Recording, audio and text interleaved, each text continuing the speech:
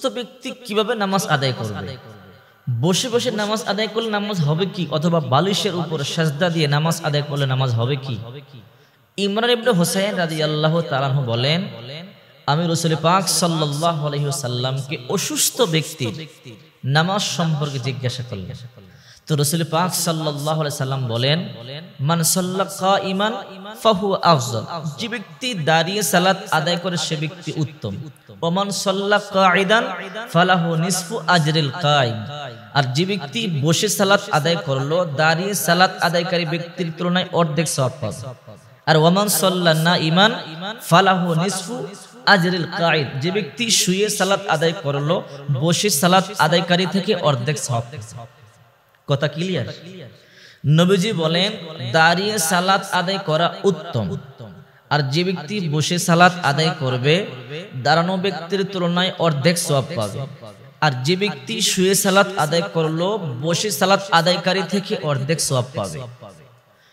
এরপরে আবার অনেকে বলে, হুজুর, বালিশের উপরে সাজদা দেওয়া যাবে কি?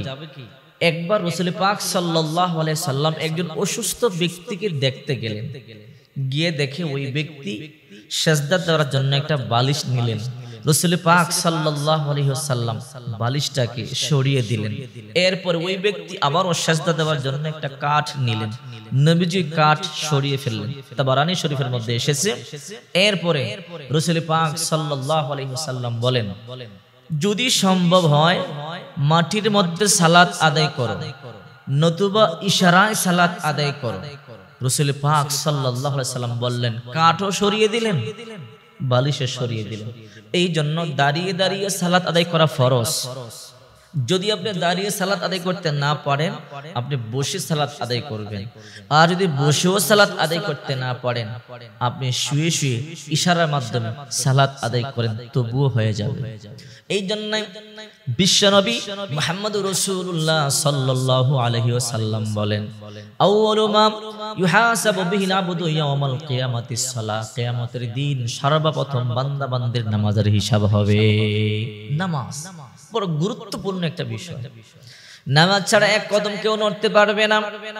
রসুল পাক সাল্লাল্লাহু আলাইহি ওয়াসাল্লাম বলেন, যখন তোমার হিসাবের কাঠ গড়ায় দাঁড়িয়ে যাবে, নিজের আমল নামার হিসাবগুলো যখন দিবে, তখন সর্বপ্রথম তোমাদেরকে আল্লাহ তালা জিজ্ঞাসা করবে, তোমরা নামাজ আদায় করেছ কি না সঠিকভাবে নামাজ আদায় করেছ কিনা? এই জন্যে নামাজ শুধু আদায় করলে হবে না। আল্লাহ পাক রব্বুল আলামিন বলেন ইন্নাস সালাতা তানহা আনিল ফাহশাই ওয়াল মুনকার। নিশ্চয় সালাত মানুষকে অশ্লীল গ্রহিত কাজ থেকে ফিরায় রাখে। কিন্তু আশ্চর্যের বিষয়, এখন নামাজও পড়ে, অশ্লীল কাজও করে, সুদও খায়, ঘুষও খায়। মিথ্যা কথা বলে। কারণটা কি? কারণ হলো, তার সালাতের মতো সালাত হয় না। নামাজের মতো নামাজ হয় না।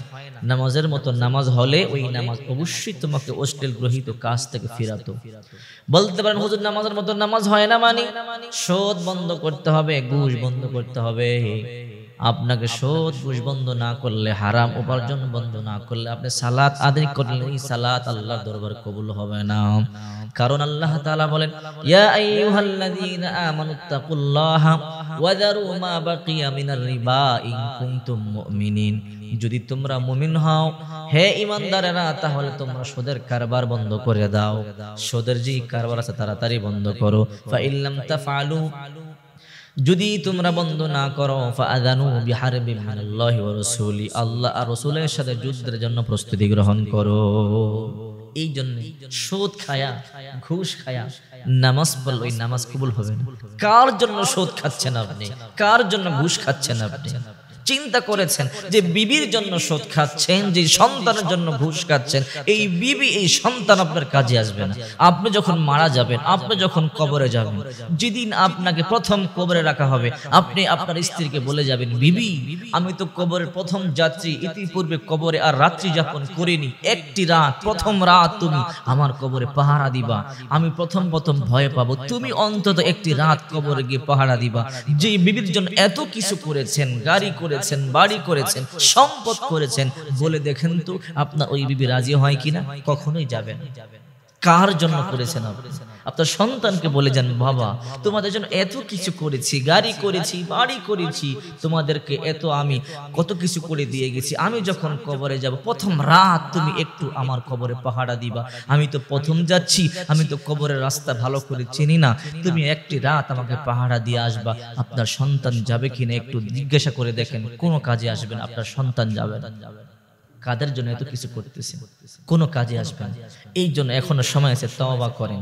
আল্লাহর দরবারে তওবা করেন। ফিরে আসুন। আর সুদ খাবেন না আর ঘুষ খাবেন না। মৃত্যুর পরে কবরটাতে যখন দাও দাও করে আগুন জ্বলবে এক বালতি পানি ঢালবার মতো কাউকে পাবেন না। সাপ আর বিচ্ছু যখন আপনাকে পেঁচিয়ে ধরবে কেউ লাঠি ছোটা নিয়ে আপনাকে বাঁচানোর জন্য যাবে না। কার জন্য করতেছে এই জন্য যা কিছু করবেন, সন্তুষ্ট করতে হবে আল্লাহকে আর রসুলকে। ওই দিন কাজে আসবে আল্লাহ আর রসুল, আর কেউ কাজে আসবে এই জন্য বিশ্বনবী মোহাম্মদ রসুল্লাহ সাল্লাহ আলহিসাল্লাম বলেন, ইবাদত বন্দীর মধ্যে শ্রেষ্ঠ হলো সালাদ। সালাদ ছাড়া কোনো উপায় নাই। এই জন্য সালাত অবশ্যই আপনাকে আদায় করতে হবে। যেখানেই থাকেন, যে